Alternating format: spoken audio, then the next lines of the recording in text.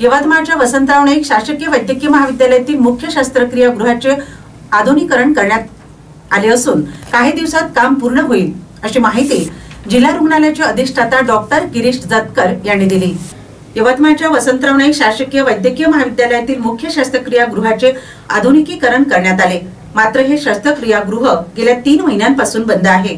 परिणामी रुग्णालय प्रशासनाला रुग्णांवर शस्त्रक्रिया करण्यासाठी कसरत करावी लागते. याच्या काही प्रमाणात रुग्णांना त्रास सहन करावा लागतो. अत्याधुनिक मुख्य शस्त्रक्रिया गृहाचे काम तीन महिन्यापूर्वी पूर्ण झाले. मात्र त्यातील एअर हँडलिंग युनिट बाहेर काढावी लागली. ते काम येत्या काही दिवसात पूर्ण होईल त्यासाठी जिल्हा नियोजन समितीची मदत घेण्यात आली. सध्या स्थितीत मुख्य शस्त्रक्रिया गृहाचे नूतनीकरण सुरू असल्याने पर्यायी व्यवस्था करण्यात आली असून रुग्णालयाच्या दुसऱ्या मजल्यावर शस्त्रक्रिया विभाग सुरू करण्यात आला आहे. त्यामुळे रुग्णांवर तिथे शस्त्रक्रिया सुरू आहे.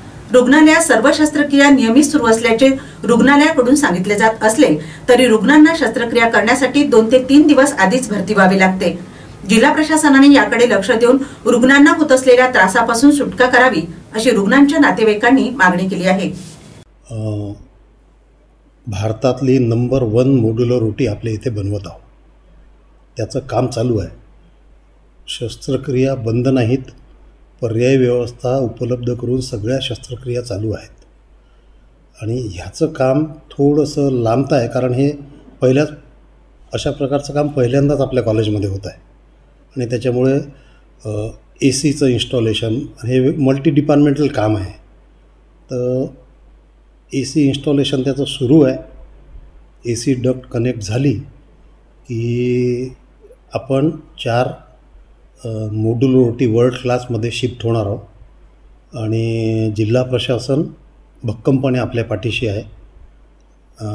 कलेक्टर साहेबांनी नवीन मधल्या मजल्यावरच्याही चार चार रोटी आपल्याला मंजूर केलेल्या आहे जवळपास पंधरा करोड त्यांनी डी पी डी सीमधनं आपल्याला दिलेले आहेत.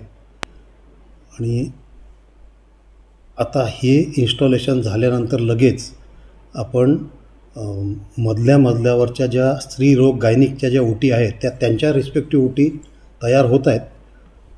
किंवा झालेल्या आहेत त्या कोरोनामध्ये वापरल्या होत्या आपण.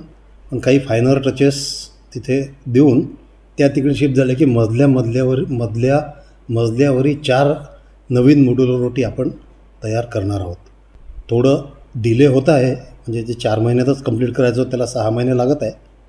पण काम चालू आहे. कोणत्याही शस्त्रक्रिया या कारणामुळे पोस्टपोन झालेल्या नाही आहेत आणि याची पर्याय व्यवस्था इतर ओटी सेक्शन्समध्ये आपण करून दिलेली आहे. आणि हे झाल्यावर आणि अधिक सुरळीत काम होईल आणि अशा वर्ल्ड क्लास ओटीचा फायदा जनसामान्यांना शस्त्रक्रियांच्या मार्फत करून द्यायचा आपला प्रयत्न आहे.